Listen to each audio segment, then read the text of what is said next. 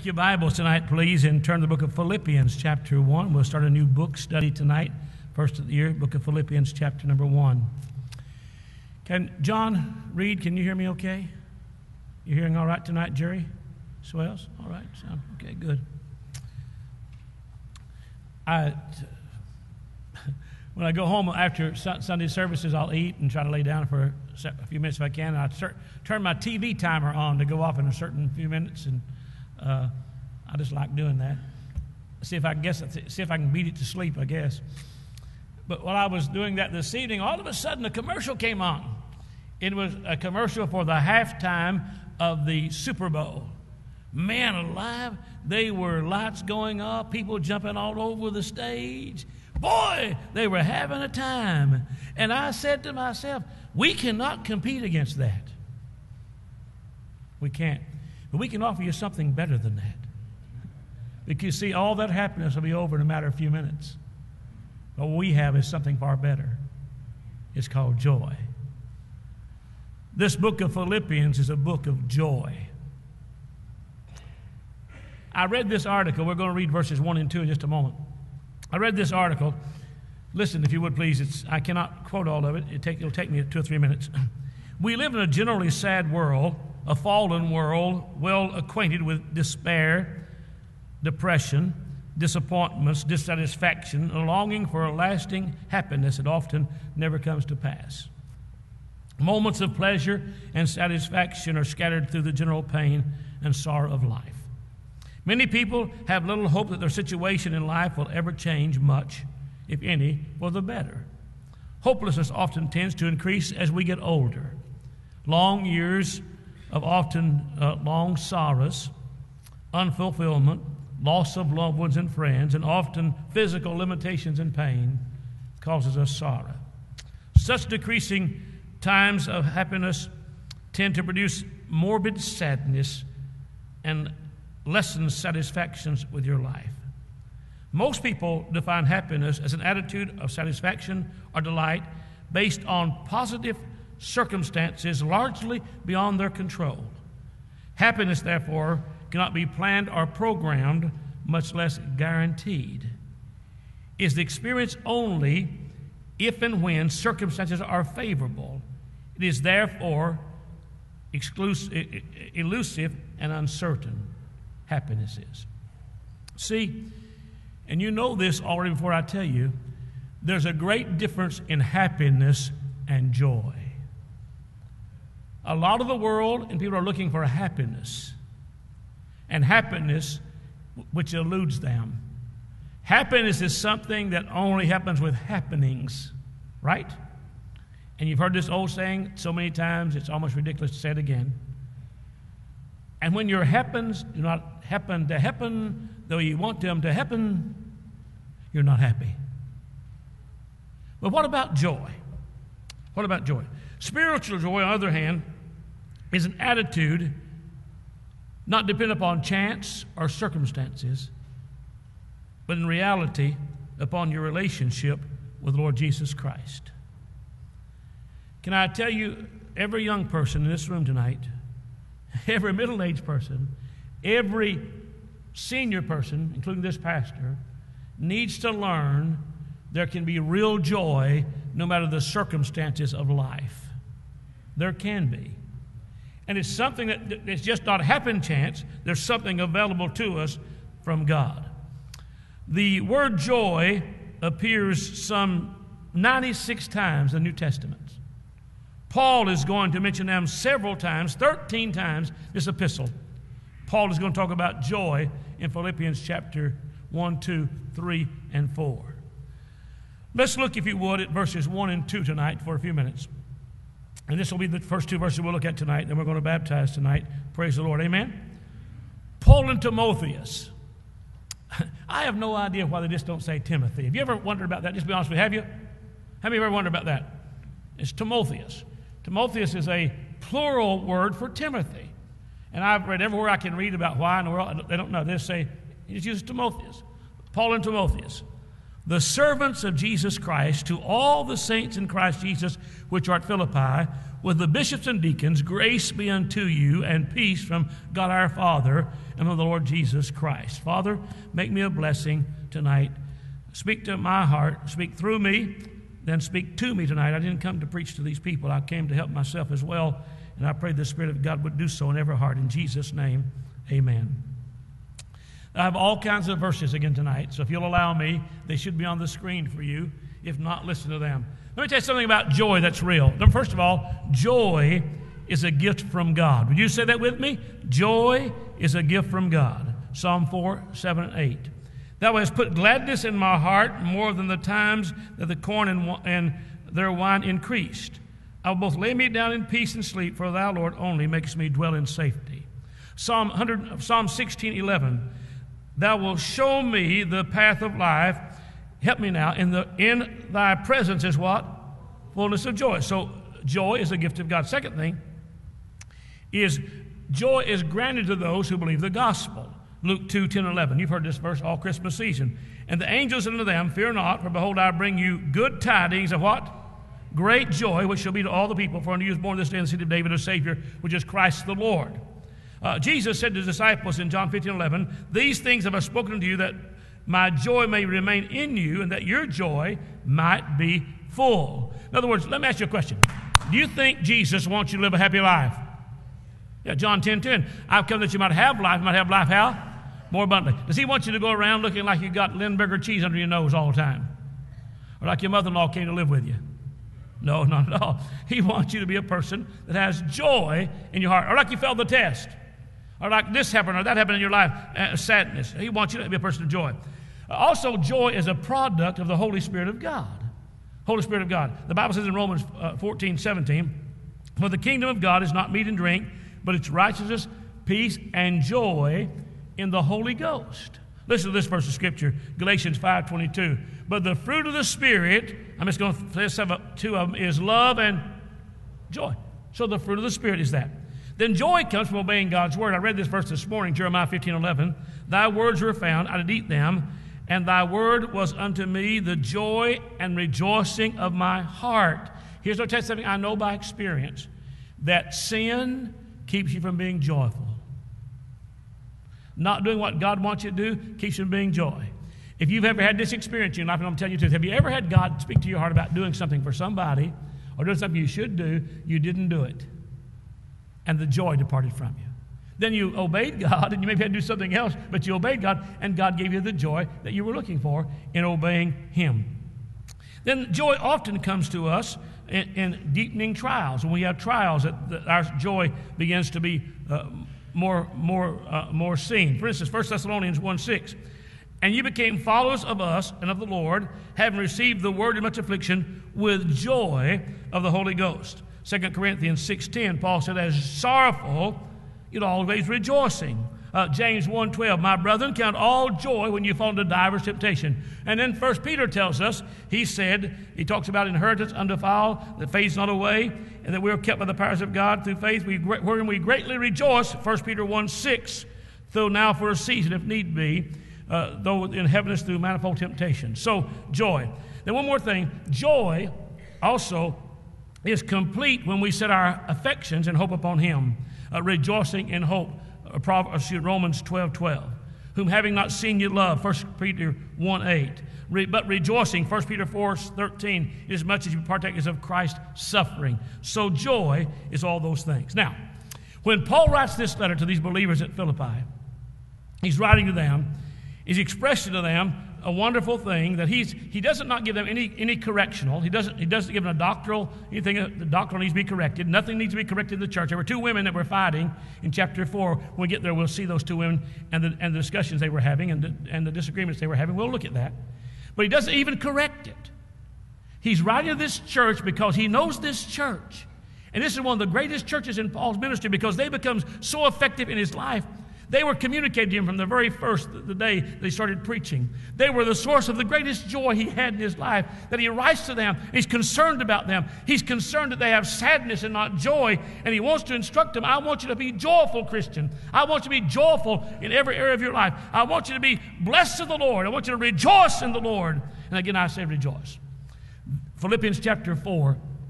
I have prescribed Philippians chapter 4. We're not there. We'll be there later on sometime this year. To more people than any verse of scripture in the Bible. When people come to me and they say, I'm sorry and I can't do this and I, I'm having this trouble, I prescribe to them to read Philippians 4, verses 4, 5, 6, and 7. Can I tell you that this is a great book on joy? Now, what makes it in these first two verses? Let me give you five things that causes joy in these first two little verses here. The first thing that brings joy is, believe it or not, is Paul's signature. Tell me the first word in, in Philippians 1 1. What's the first word? Paul. Now, it's customary in biblical times in writings that instead of them waiting to the end of the letter to put who wrote the letter, they put their name at the first to say, This who this letter is from.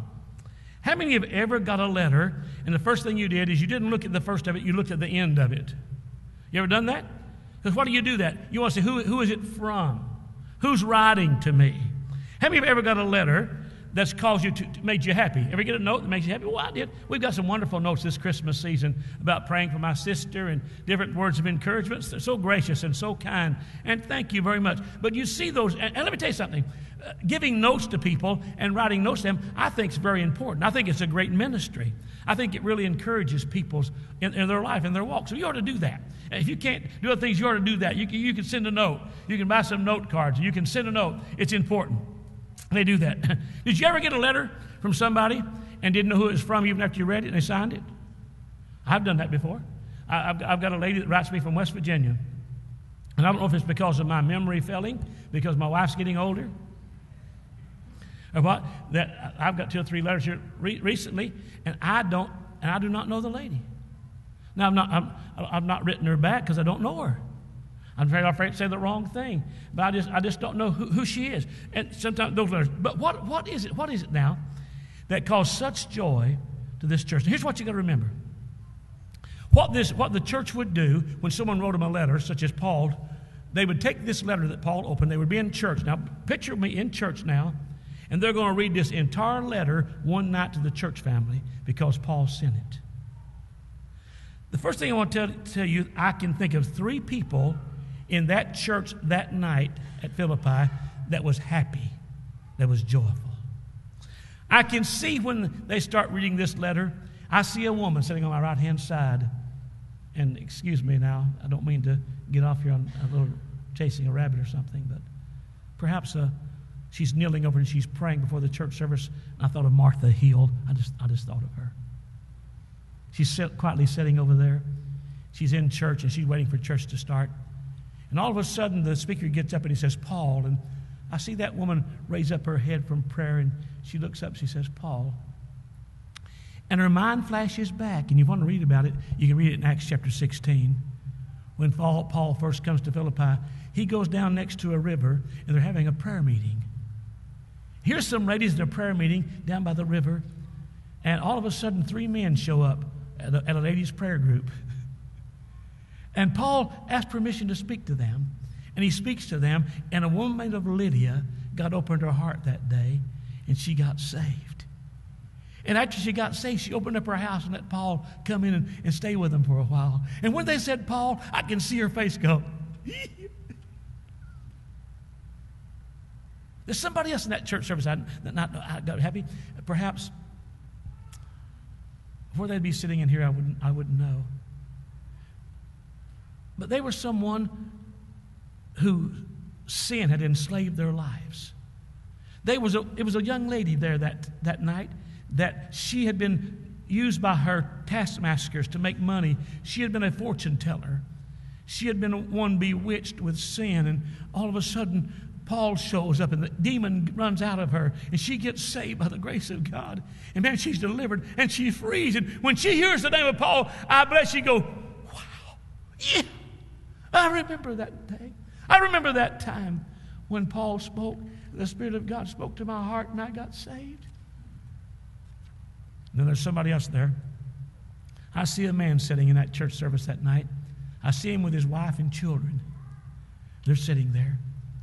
And when he said Paul, he relives in his mind that night when he first saw Paul. Paul and Silas had been brought to his jail where he was the jailer. You remember the story?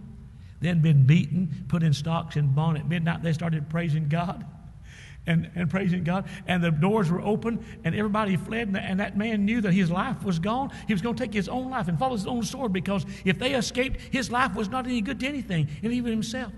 But Paul shut out, Do thyself no harm. And that night at midnight, that man got saved. And he wanted to tell his wife about it, and he took two prisoners home with him at midnight. Can you imagine getting your wife up at midnight and say, Honey, I got two prisoners here, we want to give them something to eat. It's midnight. How many of you ladies would rejoice with that? Could I get an amen? What about an old me? And boy, they went to their house. Then now she gets saved and the kids get saved. And they said, Well, we are to get baptized. And somewhere between midnight and morning, they all got baptized. Now, I want to tell you a question. Would that guy be happy to hear about Paul's name? Would they be? So they're happy because of the signature of Paul, his name. Let me give you another source of joy in these two verses. He says there were servants of the Lord. Paul and Timotheus, the servants. See verse 1? Say it with me. Paul and Timotheus, the servants. Say the what? The servants.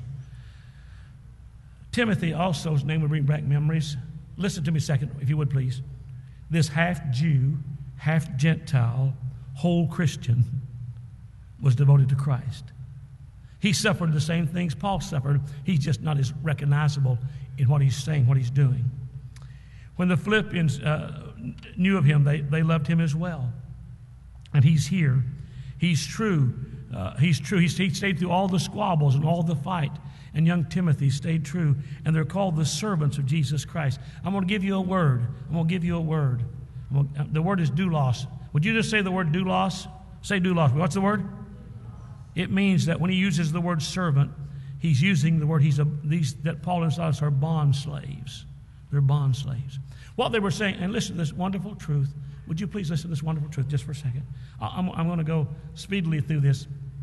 It says this A bond slave meant that he was not his own property, he was property of the Lord that was lent to those believers at, at Philippi. And when they heard, heard the word servants, they said, These men have not come to us to be masters over us, they've come to us to serve us. I want to tell you something one of the greatest joy that a man could ever have is to be a servant of Jesus Christ and a servant to the people of God. I'm serious. It's the greatest joy in life. And what I am tonight, I'm God's property. I'm loaned to you as a servant. And what you are, you're loaned to me. We're just kind of loaned to each other for a while. And the word servant, I think, caused them to smile. Then there's a third word I want you to use. Verse 1. Look at verse 1 with me again. When I stop reading, you tell me the next word. Paul and Timotheus, the servants of Jesus Christ, to all the saints. He calls them saints. you know, idea, our, idea of sainthood in the, particularly the Catholic Church is this, is that when you do enough good deeds or a few miracles, you can be made a saint. It's about doing. Praise God. Excuse me. First of all, I'm glad, I'm glad I'm a biblicist and a Baptist too, by the way. But I'm glad I believe the Bible that we're not made saints because of what we do. We're made saints because of what He did. Can I give an amen to that? this ought to tickle your fancy. And if we did what was scripture like, we'd come up and say, Hello, Saint HB, how are you? Saint Bobby, Saint, Saint Stephen, Saint Gail, Saint Jessica. Saint, just call each other, we're Saint, Saint Daryl. That sound funny? Saint Daryl. We're Saint, Saint David, Saint Ronnie. We're saints. We're saints in the Lord Jesus Christ. That's what we are. Can I get an amen to that? We've been bought at Calvary, placed in the body of Jesus Christ. Positionally tonight, we're as good as we're already in heaven. We're saints. I think that would cause them to rejoice. What about you? Third thing, He talks with me, please, if you would look at the last part of the verse. Saints in Christ Jesus, which are at Philippi, with the, tell me the last three words, bishops and deacons. He's, he's thanking God for these who were shepherds of these people. This is the only place in the Bible, listen close, listen, only place in the Bible where these two terms appear, appear at the same time bishops and, shep, and uh, excuse me, and deacons. Uh, the word bishop is not a word that we normally use in our Baptist churches, though the word's nothing wrong with the word, it means an overseer. And so he, these people that Paul had left in charge here were overseers. They're people that are overseeing the work there. Now, we're told in Acts chapter 20, verse number 28 Take heed, therefore, unto yourselves, to all the flock over which the Holy Ghost hath made you overseers to feed the church of God, which he's purchased with his own blood. So these are bishops. Now, I want to say this to you. I want to clarify something just for a second, as a matter of uh, maybe being a little technical. There's no such thing in the Bible as bishops over many churches. That's foreign to the Word of God. That's why we do not belong to an organization we're an independent Baptist church. We're, we operate under our own auspices. That's what we are. We're not under, we're not under some bishop somewhere that tells us you got to teach this, you got to say this. We believe this Bible is our sole authority for practice. Amen? That's why we do that. We pay our own missionaries and don't send it through some group of people that take more out than they send to missionaries to start with. We're independent Baptists. That's what we are. We're that. So he's thankful for the bishops those who oversee the church, and the deacons, and the deacons. And so the bishops and deacons were sources of joy in a church. Can I tell you, those who serve the church are to be joyful, are to be cause us joy because they're willing to serve. Can I tell you, one of the greatest things you can ever have is a set of deacons that are serving God and happily serving the Lord. Amen? Can I get an amen to that? Can I, uh, can I tell you what? Let me tell you something. In 45 years of trying to pastor, I've never seen a church have a problem when the deacons got along. So is it important that they get along? Is it important that they love God and serve God? Now, we're going to have an election here in a few Sundays about deacons. We got some good men that are running. I can serve with any of those men, have in the past, some of them. And I'm just telling you, but it's so important the church have good leadership where they are and, and serving God and serving God. And, and the word deacon also is the word doulos, which means one who serves and one who serves. Uh, God's not looking for some chiefs, He's looking for some Indians. People just willing to serve. Amen? That's what God's looking for. Here's the next thing. I want you to notice the supply that they enjoy. Look with me again at verse number two. Tell me in verse number two, I'm going to read it with me. You read it with me. Verse two, the first uh, one, two, three, six words. Read it with me. Come on, verse two. Grace be unto you and what? Peace. You know, grace is the unmerited favor of God. Aren't you glad for a grace of God that's greater than all of our past? Give me, give me an amen. Aren't you glad for the grace of God that's great enough for us in the, in the present and sufficient for us in the future? Can I get an amen to that? And let me tell you something. Oh, what people would give just to have peace. I know people tonight that would give anything in the world if they could have peace. I know people, honestly, I know, I know, so me and, me and Brother Ben was visiting a man, a man uh, yesterday in the hospital and he told us he'd been saved, but he said, I'm not, I'm not doing what God wants me to do. We talked to him for several minutes, trying, and you could look up on his face. He had no peace, did he, Ben? No peace whatsoever. You could tell he was troubled about it. He, he knew he needed to get right with God, but he had no peace. He would not be stirred to get right with God, but he had no peace. See, peace is a commodity which you can put no price on. I'd rather have peace than anything else. Just the pure peace of God. It brings joy to their hearts. And the source of all that peace and joy would you look with me, please, again at verse number two? When I stop reading, I want you to tell me the next few words. Grace be unto you and peace from and from the source of all of our peace is God and the Lord Jesus Christ. Amen? That's where it all comes from. It comes from Him. The good news is that's where it comes from. You know, let me just say something interesting about this that I'd never seen before in all the years I, had been studying. Look with me again at verse number two. I'm going to stop reading. You give me the word. Grace be unto you and peace from our Father. One thing foreign to all the religions of the days of Christ's time, and even many of our, our time, is, is the relationship with Father. Most of the gods that were worshipped there were not referred to as Father.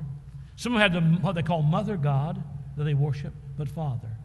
And have a Father that's so intimate, so close, is something of a preciousness to have such a dad of loving and care, considering this one who being God our Father. And uh, he says, God our Father, and from the Lord Jesus Christ. Just a couple, just a couple more thoughts, and then we'll give an invitation. I've never heard a Buddhist, I've, I've met only a few Buddhists in my life. I've never heard a Buddhist say that he's in Buddha. Have you? I've never heard, any, heard anyone, uh, when I preach in India to those people there in, in, in, uh, in India, the Hindus, I never, they never talk about being in, in their, in their relationship with their, their God, that they were there. I've never heard the Muslims talk about being in Mohammed. When we speak, we speak that we are in Christ. Is that not right? 17 times alone in Ephesians chapter 1, we're in Christ. We're in Christ. We're in Christ. Because all the source of our joy and all the source of our everlasting joy is simply found in the person of Jesus Christ. You know, that's why we are to seek to please Him. You know that? I, I, I thank God for my Pisgah Baptist Church, but you're not my source of joy. You can't be. You can't be. What, what if the day comes we're no longer here, exist? You can't be. My source of joy must be Him who never changes and always remains the same. Come on. His name is Jesus, who He is. Now, a few questions, an invitation, baptism. When people mention your name, now, I don't have everybody that, I, not everybody likes me. Not everybody likes Pastor Walls. I've got some people that don't like me. I do. And I know that.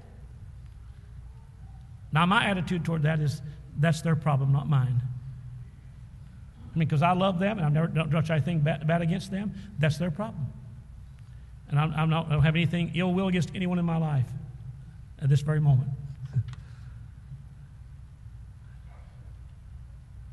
I remember one day I was standing in line at uh, Captain D's, and uh, people often come up to me, oftentimes, almost every time I'm out, they'll say, Pastor, I watch you on television. I, I was standing, and a man behind me said, I watch you on television. And I said, Thank you. He said, I don't like it. And I said, You ought to come and hear me in person. I'm worse.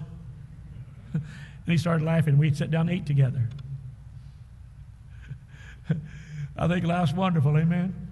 Thank God for the challenges. But when people think of your name, are they happy about it? And not everyone's going to be, but I'm saying that generally, when they think of your name, they said, I'm glad to hear that. I like that name. Let me ask you a question.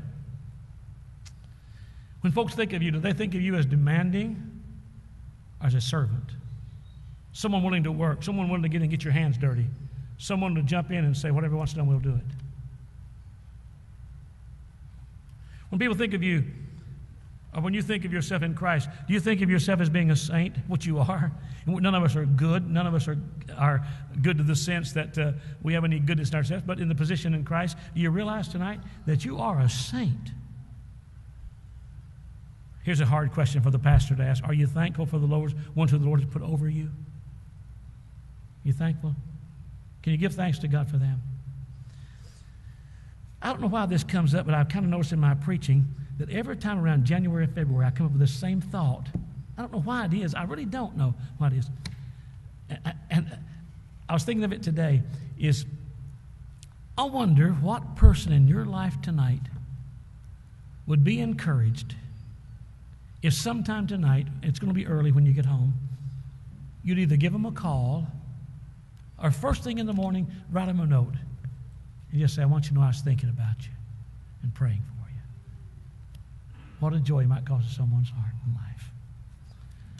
May we find joy as we study these books, and may the joy of God be real in our hearts and our lives. Father, thank you. We love you. Now, if I gave an invitation tonight of who would like to have more joy, everybody ought to come. Probably everybody wouldn't come, but everybody ought to come. But if I could give an invitation somewhat like this tonight, if you know Jesus Christ and you're glad you're saved, would you say amen? Amen. If you are facing a situation where you're just having a hard time in your life, or somebody or some event in your life, you're having a hard time of finding the joy God wants you to have in your life, I wonder would you allow the Holy Spirit to speak to your heart? And would you come and ask Him? Say, God, I need to find some joy in this. And God, would you let me see the goodness of the Lord in this and what and what I, how I'm supposed to react to this in the right way? Would you come and ask God about that?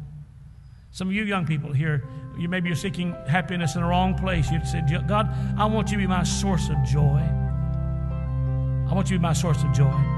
Some adult here that say, God, I just, I just need to have the joy of thy salvation restored to my heart and life again. I want to start fresh with you this new year.